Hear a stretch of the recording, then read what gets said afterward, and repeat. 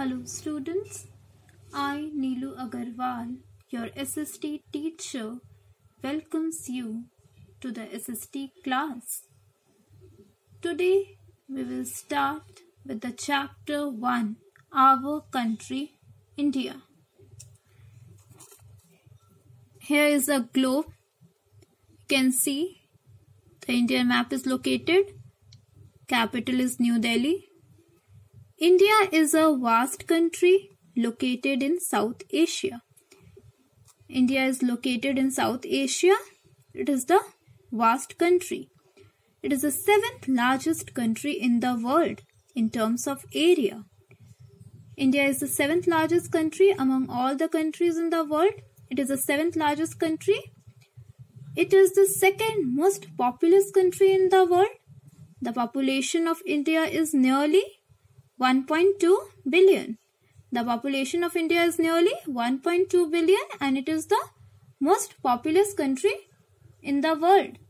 The festivals, music, dance, art and culture of the people of India are unique. The culture of the people of India are unique. Different festivals are celebrated in India like Diwali, Holi, Eid, these are the festivals and many more festivals are celebrated in India. People in India follow different religions. People follow different religions. Some of the world's major religion Buddhism, Hinduism, Jainism and Sikhism. They speak different languages and wear different dresses. People speak different language and wear different dresses in India. Language like Hindi, Bengali, Marathi, Urdu, Gujarati, Kashmiri, and many more. They have different cultures, customs, and traditions. Yet they are united. United. United we stand. India has a diverse and distinct culture that has been developing for thousands of years and varies from region to region. India is considered the birthplace of some of the world's major religions. This is the cultural beauty of India. Now let's learn about the neighboring countries of India. India shares common land boundaries with its neighboring countries like Pakistan, Afghanistan, Bhutan, Tibet, China, Nepal, Bangladesh and Myanmar, Sri Lanka and Maldives, the island nation in the Indian Ocean are also our neighbor. In this map, the neighboring countries are located. Here is Afghanistan, then Pakistan, here is China, then Tibet, Nepal is there, Bhutan, Myanmar. Sri Lanka is there at the bottom of the map. You can see Sri Lanka, the Maldives. It is located the island nation in the Indian Ocean. India political divisions. India has 28 states and 8 union territories. Earlier, India has 29 states and 7 union territories. But now, according to the constitution, India has 28 states and 8 union territories. All states as well as the union territory of Puducherry and the national capital territory of Delhi have elected governments. All states as well as the union territory of Puducherry and the national capital territory of Delhi, they have elected governments. And the remaining territories are directly ruled by the center. National capital territory of Delhi is the capital of India. We all know is the capital of India and also the seat of the central government. Delhi is the largest metropolitan city in India in terms of area. Among all the metropolitan city in India, Delhi is the largest metropolitan city in India. Rajasthan is the largest state while Goa is the smallest state of India in terms of area. The states of Arunachal Pradesh, Assam, Meghalaya, Manipur, Mizoram, Nagaland and Tripura in northeast India are called seven sister states. The states which are located in northeast India, they are called as seven sister states. These states are called seven sister states. In this map, the we can see the northeast of India. Here the seven states are located. Arunachal Pradesh is there. The Nagaland, Manipur, Mizoram. Here is Tripura. These are located. Assam is there.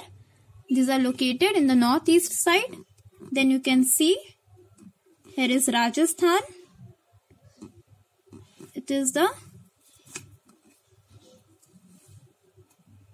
largest state and here is Goa, the smallest state. Now let's learn the name of the states and capital of India. Andhra Pradesh, Hyderabad, Arunachal Pradesh, Itanagar, Assam, Tezpur, Bihar, Patna, Chhattisgarh, Raipur, Goa, Panji, Gujarat, Gandhinagar, Haryana Chandigarh, Himachal Pradesh, Shimla, Jharkhand, Ranchi, Karnataka, Bengaluru, Kerala, Thiruvananthapuram, Madhya Pradesh, Bhopal, Maharashtra, Mumbai, Manipur, Imphal, Meghalaya, Shillong, Mizoram, Aizawl, Nagaland, Kohima, Orissa, Bhubaneswar, Punjab, Chandigarh, Rajasthan, Jaipur, Sikkim, Gangtok Tamil Nadu Chennai Telangana Hyderabad Tripura Agartala Uttar Pradesh Lucknow Uttarakhand Dehradun West Bengal Kolkata through this map you can see the states and capital are located here you can see that here is the rajasthan the capital is jaipur himachal pradesh the capital is shimla Punjab, Chandigarh. Then there is Uttarakhand Dehradun Uttar Pradesh Lucknow Madhya Pradesh Bhopal Gujarat Gandhinagar these all are located here then Maharashtra Mumbai Goa Panji Raipur is the capital of Chhattisgarh then Orissa is there The capital is Bhubaneswar. Telangana, the capital is Hyderabad. Then there is Andhra Pradesh, the capital is also Hyderabad. Then there is Tamil Nadu. Okay. There is a Kerala, the capital is Trivananthapuram. and so on. Now let's learn the Union Territory and its capital. Andaman and Nicobar Island, Port Blair, Chandigarh, Chandigarh, then Dadra and Nagar Haveli and Daman and Diu. The capital is Daman. Lakshadweep, Kavaratti, National Capital Territory of Delhi, Delhi, Puducherry, Puducherry, and there is also Jammu and Kashmir is the Union Territory. India physical features. India has a varied landform. It has high mountain, vast plain, extensive plateau, a large desert, long coastline and beautiful hills are there and forest. A large number of rivers also flow through India. Accordingly, India has been divided into six geographical regions as follow the northern plain, the northern plains, the northern mountain, the coastal plains, the great desert, the great Indian plateau, the island. India is a peninsula because It is surrounded by water on three sides. It has the Indian Ocean in the south, the Arabian Sea in the west and the Bay of Bengal in the east. Through this map, you can understand easily the Arabian Sea in the west. Here is Arabian Sea, the Bay of Bengal in the east and Indian Ocean in south. We will learn, we are going to learn about each of them in the upcoming chapters about the geographical regions you, you will learn in the upcoming chapters. That's all for today. Thank you. Have a nice day.